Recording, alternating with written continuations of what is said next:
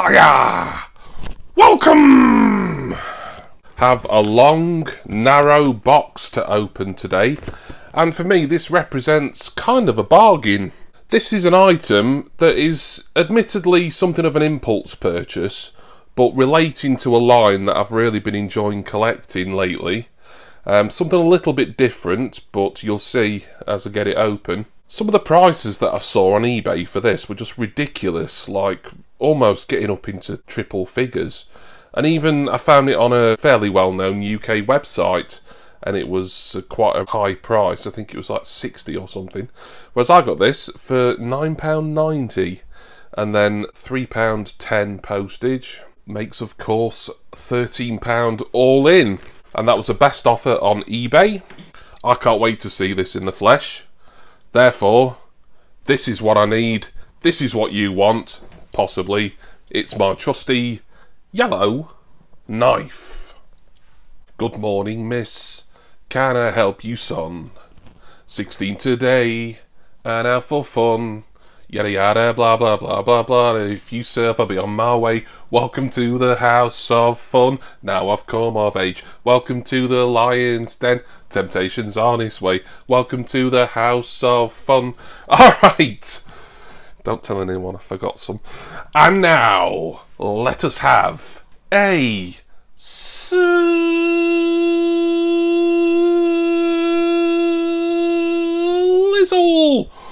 Woo! So as I say, I made a best offer on eBay.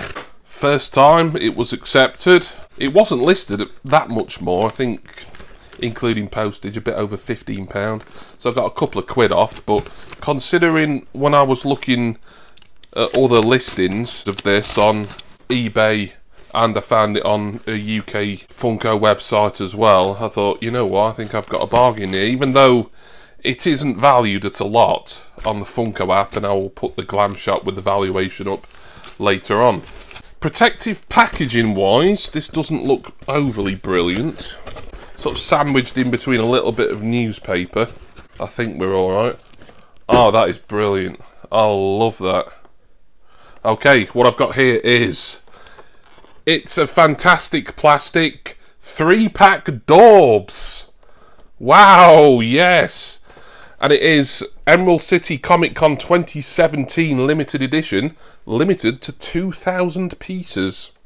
Now, automatically, when it's like a limited piece thing, I automatically assume the value's going to skyrocket, and it's not always the case.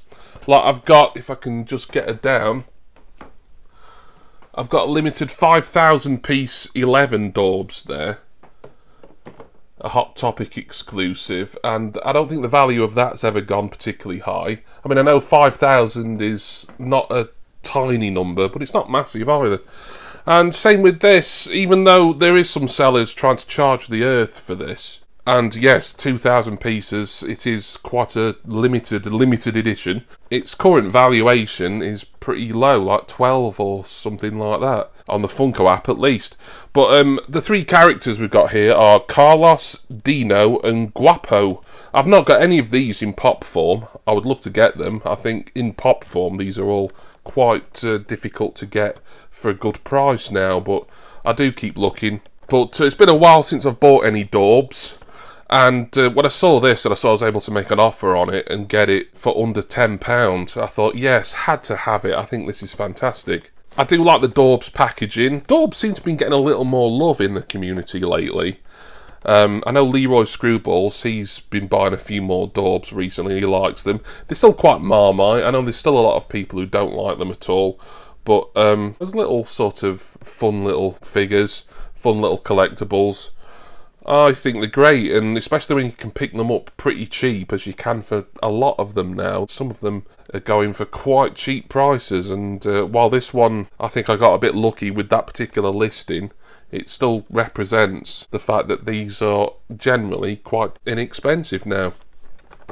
We've got the usual circular windowed box there, you can see the back and the front is kind of identical but with a bit more writing and bump on it. Really excited to have got something that's limited so few pieces here and a 2017 piece as well so it's not exactly brand new either. Have a look at the top. There's a lot of boarding shit on the bottom, as they say in uh, the Cardiff area. Yep, very happy. Just look at the sides there as well. I think they're pretty much identical, apart from a little bit of writing. I've never got Dorbz out the box. For me, they're a nice in-box item because the box is part of the appeal. Whereas a lot of pop boxes seem kind of uniform. Normally with Dorbz and with vinyl 2-packs as well, the boxes are always different and different colours and different designs which I think is always a plus, really. I've also got a three pack Dorbz protector from ATV. I ordered that as soon as I'd ordered this. That came a couple of days ago, so I've got that ready to go. So that's fantastic. This can go in that and into my Dorbz collection, my Dorbz display straight away. So thank you to the eBay seller for accepting my offer. And of course, thank you to all of you for watching this video. Special thanks go, as always, to my amazing subscribers and patrons. Please see the referral links down in my description text box for my usual recommended Funko figure and protector suppliers. And of course, my Patreon link is at the top of the video description, like it always is.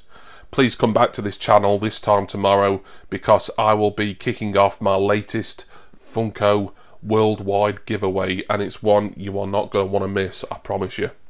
I'm going to go now, and as previously stated, stick Carlos, Dino, and Guapo, three original characters, into an ATV Dorbz protector, and I do hope that you will join me and these three little fellas next time for my next Funko Dorbz unboxing. Cheers, everyone. See ya!